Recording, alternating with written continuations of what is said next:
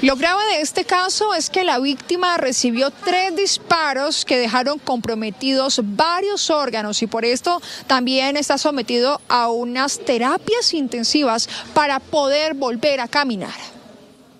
En este video se evidencia cuando dos hombres están sosteniendo una discusión, al parecer porque uno de ellos no recogió los excrementos de su mascota. En medio de la acalorada riña, uno de los participantes sacó un arma de fuego y le disparó a su vecino en tres ocasiones a la altura del abdomen.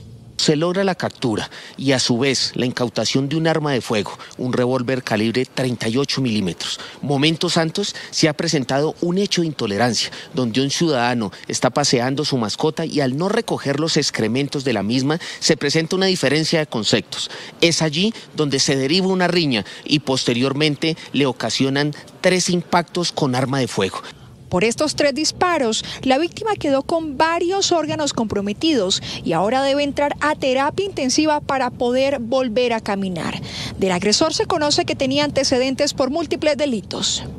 El victimario tenía antecedentes por tentativa de homicidio particularmente, gozaba de libertad condicional, fue puesto a disposición de las autoridades competentes por el delito de tráfico y porte de armas de fuego y tentativa de homicidio. Un llamado a la conciencia, un llamado a la tolerancia, pero sobre todo a la resolución pacífica de conflictos mediante el diálogo.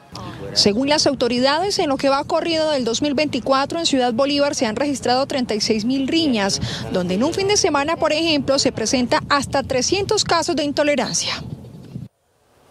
Si esta noticia le interesó o quiere conocer más, no olvide suscribirse en nuestro canal de YouTube que es gratis, visitar eltiempo.com o seguirnos en nuestras redes sociales.